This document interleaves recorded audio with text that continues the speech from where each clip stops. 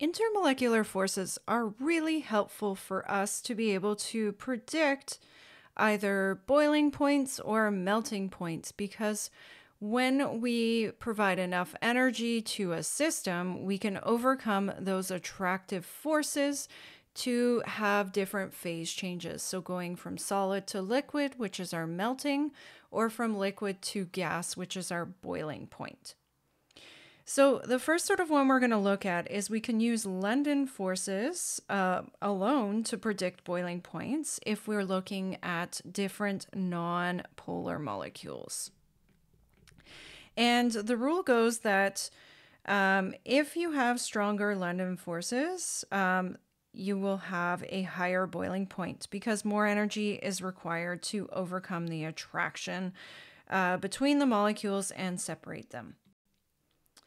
So, if you recall from our previous video, um, looking at which molecule has the higher London forces here, we're looking for the one with the most electrons, the most surface area, as well as the biggest sort of volume of electron cloud.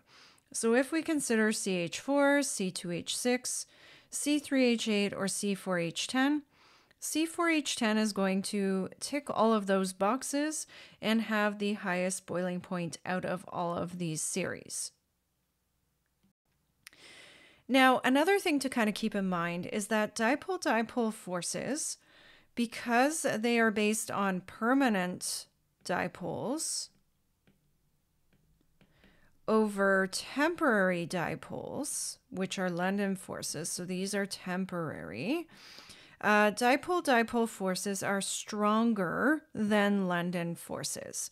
So if you have a molecule that is polar and contains dipole dipole forces, it will have a higher boiling point than something that is nonpolar that has just uh, London forces alone. So let's take a look at this example. Which of the following will have a higher boiling point? Well, if we take Br2, and look at sort of its structure, there's no dipole here, okay, because they're both the same element. Whereas if we looked at ICL, because they're two different elements, we do have a permanent dipole here, okay, and it's pointing towards the chlorine. So that means that Br2 is nonpolar, right, because there's no dipole, whereas ICL is a polar molecule. So BR2 has London forces only, whereas ICL has both London and dipole dipole. I'm just going to write DD for short. So ICL would have the higher boiling point. All right, taking a look then at another example, BR2 versus F2. Both of these molecules are nonpolar. They both do not have a dipole because they are both the same element bonded to each other.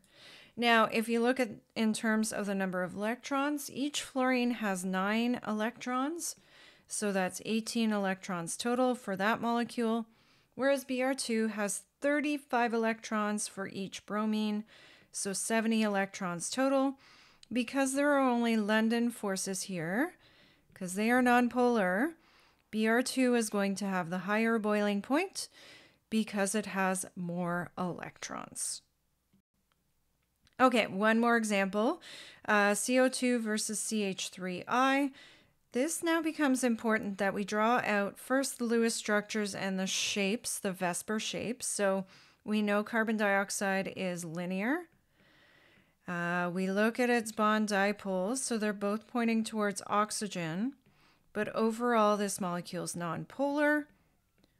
So that means it only has London forces. If we look at CH3I, this one has a tetrahedral shape. And this one is definitely polar because we have uh, the carbon iodine bond, so it's pointing towards the iodine. And they're very small, but still kind of relevant dipoles pointing towards the carbon on the three carbon hydrogen bonds. Regardless, overall, there will be a dipole pointing uh, towards the iodine end of this molecule. It is polar, and so it's going to have both London and dipole-dipole forces, which means that it will have the higher boiling point. Now, another thing we need to keep in mind is that hydrogen bonding is a special type of dipole-dipole force, but it is also stronger than dipole-dipole forces. Um, there's many reasons why. We're not going to go into the reasons why in this video. You just need to know hydrogen bonding is stronger than dipole-dipole forces. So if hydrogen bonding is present, it will have a higher boiling point than a molecule that does not contain hydrogen bonding.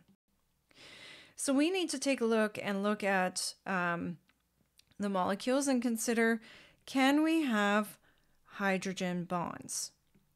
Now, if you remember, fluorine has lone pairs of electrons and the hydrogen is bonded to the fluorine. So we have this permanent dipole here and we have it in both molecules. So both of these are, are dipole-dipole forces. They're both polar. But HF fits our definition of hydrogen bonding.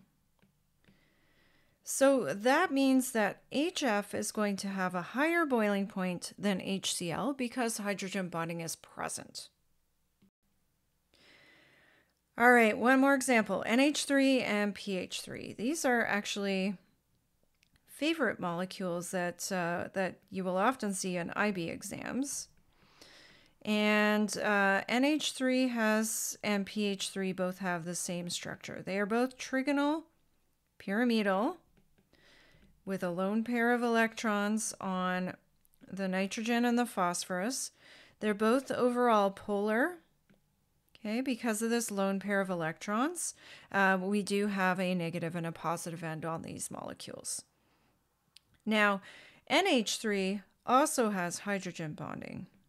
Okay, because of the lone pair of electrons and the hydrogen bonded to the nitrogen, it can form hydrogen bonds, whereas PH3 does not. So in this case, NH3 has a higher boiling point than PH3.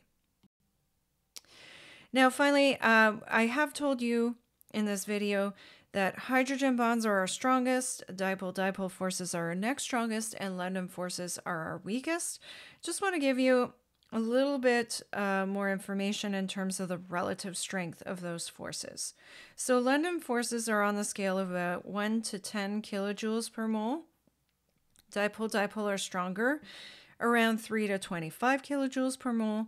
And hydrogen bonds, as you can see, are at least 10 times greater than London forces at 10 to 40 kilojoules per mole. Uh, so just kind of gives you an idea of the relative strength of those different intermolecular forces. Now in this video, we did a whole bunch of examples with boiling points, but the same arguments would apply to any melting point comparisons that you are making. Uh, the only difference there is change of state, right? Is going from solid to liquid versus boiling points are liquid to gas.